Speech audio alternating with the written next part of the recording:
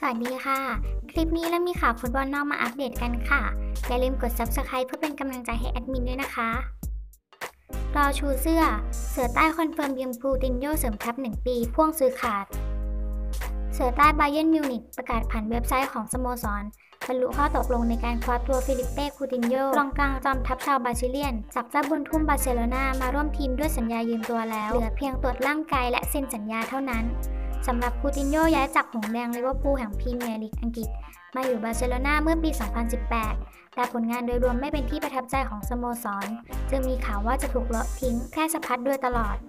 ทั้งนี้ก่อนหน้าที่บาร์เซโลนาจะบรรลุข้อตกลงกับบาเยิร์นคูตินโยตกเป็นข่าวถูกต้นสังกัดพยายามแนบเป็นส่วนหนึ่งของข้อเสนอยื่นซื้อตัวเนย์มากองหน้าปารีสแซงต์แชร์กแมงแห่งลีกเอิงฝรั่งเศส แต่โดนบอกปัด